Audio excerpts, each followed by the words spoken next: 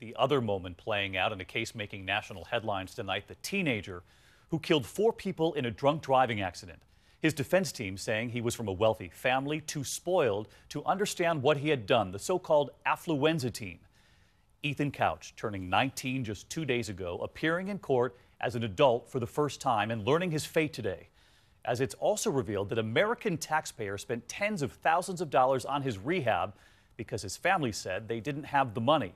So, what was his punishment? Here's ABC's Matt Gutman now. The Texas judge stunning a packed court today with that ruling against the so called affluenza teen, Ethan Couch. After the first 180 days, then the second 180 days will start. 180 days for each of the four victims. In total, the Fort Worth judge ordering the 19 year old to serve almost two years in county lockup for probation violation.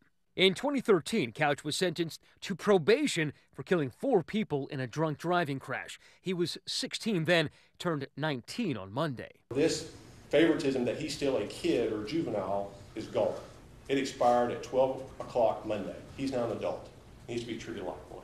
Couch has been in jail since January when he was extradited to Texas after fleeing to Mexico. With that mop of dyed hair and a shaggy beard, he was directed into court by Sheriff Dee Anderson. Certainly, this uh, time that he spent in, in basically in a single cell by himself with no privileges, uh, you know, that, that, that's a rude awakening for anyone. Especially for a teen whose million dollar legal team argued Couch was too pampered to go to jail.